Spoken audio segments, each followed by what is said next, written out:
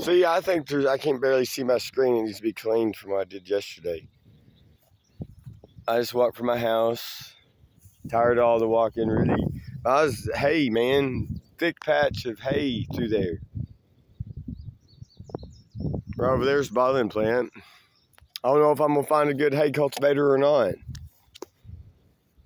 Since 10, 12 year hay cultivator basically quit for whatever reasons. Said understaffed. Basically. Anyway, 29th day, May, year 2022. I'm gonna go check on something with erosion. Something I almost looked at yesterday, but due to lack of energy and time, I didn't feel like it. The rapids are up a little bit from recent rains.